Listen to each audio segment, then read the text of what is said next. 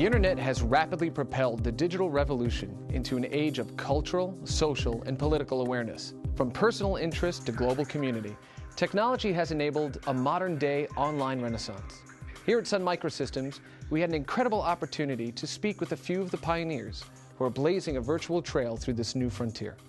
To achieving the goal before this decade is out of landing a man on the moon and returning him safely to the earth.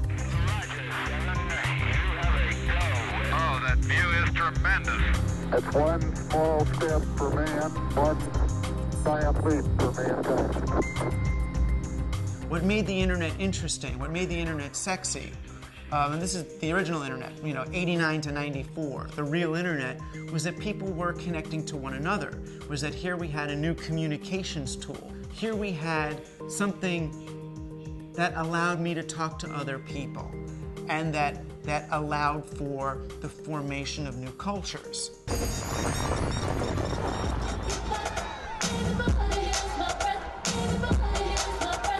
Participation is non-hierarchical in a sense that everyone's idea is important and everyone's idea can count and I don't think that there's a limit to how many people can participate when you're talking about something like the internet. We're basically at a point where new technologies are enabling fast, affordable, and increasingly ubiquitous access to technologies that enable people to create and distribute their own media. So this is radically transforming the entire media landscape. You see the rise of the blogosphere, and what all of this sort of means is that the traditional barriers of the journalist and the recipient um, of the media maker and the media consumer have been reconfigured. All of this technological equipment that it requires to create media is so cheap that it's accessible and I can go down the street to Best Buy and get what I need. And then simultaneously we have um, the internet that's working well enough where broadband is pervasive enough and the audience is out there that I can utilize that as the uh, even a, potentially a better means for promotion and distribution of the media. I think that increasingly, you know, the, the, the, the cost of the tools to create really, you know, broadcast quality content keeps coming down and down to where it, it, it is almost going to be not prohibitive at all for anybody to gain access to the tools. For a very long time, taste and artistic training have been things that only a small number of people have been able to develop. Only a few people could afford to participate in the production of many types of media. Raw materials like pigments were expensive, same with tools like printing presses. Even as late as 1963, it cost Charles Peignot over $600,000 to create and cut a single font family. Over the last 20 years, however, the cost of tools related to the authorship of media has plummeted. For very little money, anyone can create and distribute things like newsletters or videos. Suddenly, consumers are learning the language of these authorship tools. The fact that tons of people know names of fonts like Helvetica is weird, and when people start learning something new, they perceive the world around them differently. For example, throughout most of the history of movies, the audience didn't really understand what a craft editing was. Now, as more and more people have access to things like iMovie, they begin to understand the manipulative power of editing. As people start learning and experimenting with these languages of authorship, they don't necessarily follow the rules of good taste. Ugly when compared to pre-existing notions of taste is a bummer, but ugly as a representation of mass experimentation and learning is pretty damn cool. Over time, as consumer-created media engulfs the other kind, it's possible that completely new norms develop around the notions of talent and artistic ability.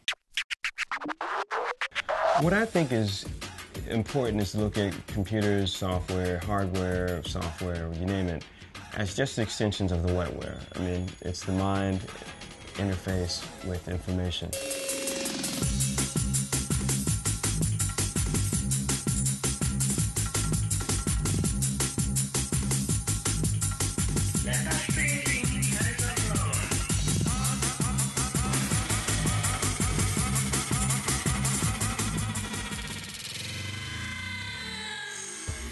I think in our respect it's really like early adapter music fans, people that want to find out more, people that are always on the lookout for new things. There's there's definitely there's definitely people like this as well, and they are then the ones that spread uh, things to to other people. Uh, it's sort of like your early adopter bracket. They are definitely responsible for embracing change and then transmitting it to other people.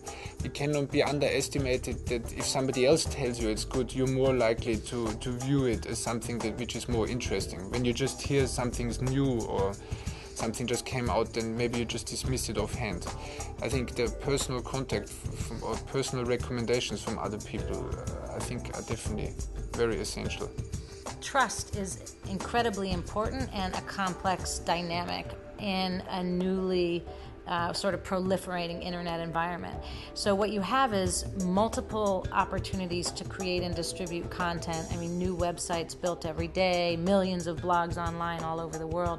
And the question becomes how, in that glut of information, do people find their way to content that matters something to them? The 21st century mythology is about people becoming more and more immersed in their own media spectacle. So part of that is looking at how we're looking at overload. You know, I call the Times Square mentality. And the other part of that is how you navigate, because making sense of overload is, is not just like you're grabbing bits and pieces, but you're navigating through it as if you're in an ocean of information. People are taking their consumption more seriously. Their consumption is as much an act of work as their production, if not more so. People are already starting to pick and choose. Um, and I think the same thing with video blogs and with blogs. People are, are, subscribing and downloading the ones that they want to check out every day. The users are the king in our system. They drive everything. Um, I think that's also what sets us apart from other music recommendation systems, that we're totally and 100% socially driven the technology is a helper, is an enabler in this sense to, to connect knowledge in between people. But uh, yeah, the users are in charge. The nickname that a lot of people are using for it is instead of outsourcing it, you're calling it crowdsourcing, where people share a certain amount of information and everybody runs with it and makes a new thing.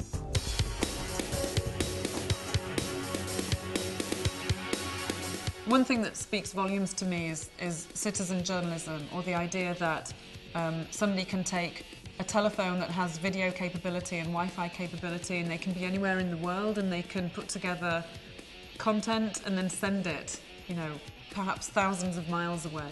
Technology has enabled Witness to provide video cameras to human rights groups around the world, to train them to produce and distribute videos that make a real difference in the world technology has enabled people all over the world to learn about the human rights issues our partners are working on and to get actively engaged in those campaigns.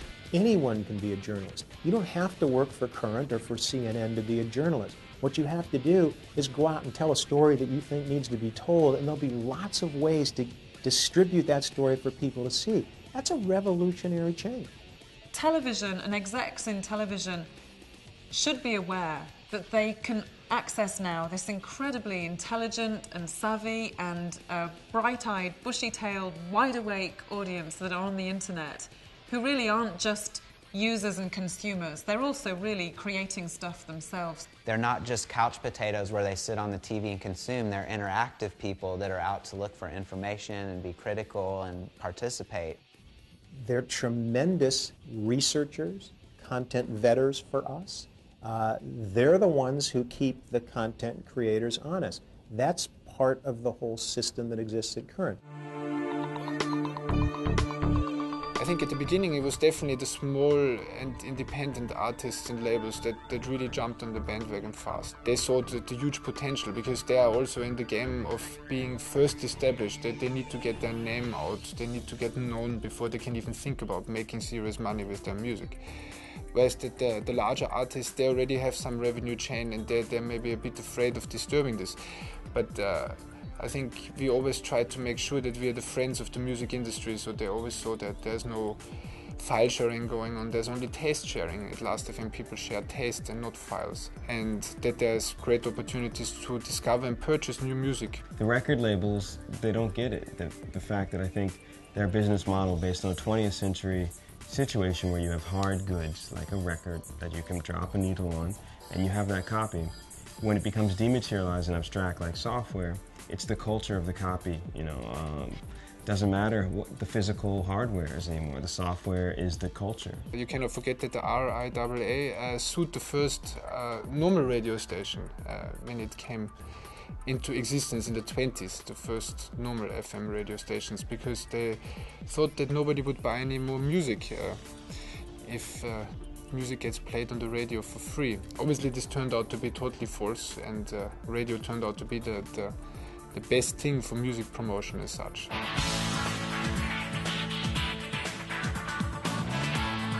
we can see slow and steady incremental progress on all the campaigns. So I know and we know that working together, small groups of committed people can really make a difference. The challenge is just how do you ensure the difference is lasting and very, very systemic? By people participating, they're able to utilize that their brain trust together and that human nature, science, or whatever you want to call it will probably tend towards settling out something that's reasonable.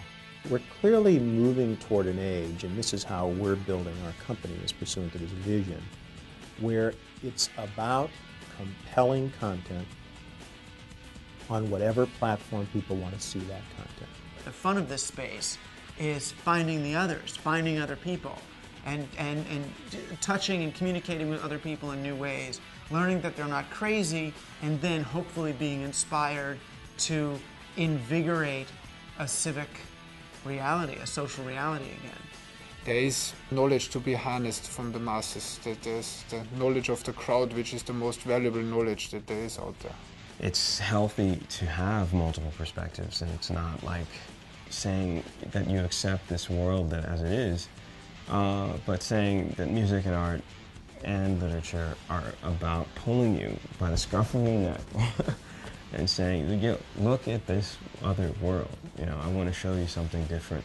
It's teamwork, it's participation, it's the sharing of ideas, and it's the ability to get the best out of ourselves thanks to each other. Wherever this journey takes us, the participation age is here, delivering the power of media to the masses, empowering millions across the globe to fight for civil liberties enabling individuals to seek out new interests and nurture old ones, to cross social and geophysical boundaries. This is an age where the line between entertainer and fan, studio and moviegoer, and journalist and audience is blurring, and the balance of power is shifting.